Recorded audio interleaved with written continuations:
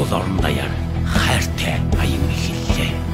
7 дугаар сарын 15-нд хар хоринд 7 дугаар сарын 16-нд Өвөрхөн 10 хэл хотод 7 дугаар сарын 18-нд Баян хонгорт. 7 дугаар сарын 21-нд Ов алтай Алтай хотод. 7 дугаар сарын 24-нд Баян үлгий Үлгий хотод. 7 дугаар сарын 26-нд Ховд аймгийн Ховд хотод.